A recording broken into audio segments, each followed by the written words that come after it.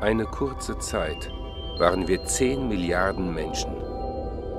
Hey, da kommt wer.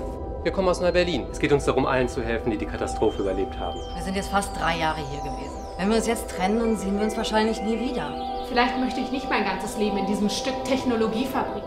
Wo willst du denn hin? Was geht's denn noch? Wir müssen jetzt auch nicht alle die gleiche Entscheidung treffen. Du hast echt gar keine Angst, oder? Wir sind ein Zufluchtsort. Was seid ihr alle so dumm? Warum habt ihr so eine Angst? Wir sind eins.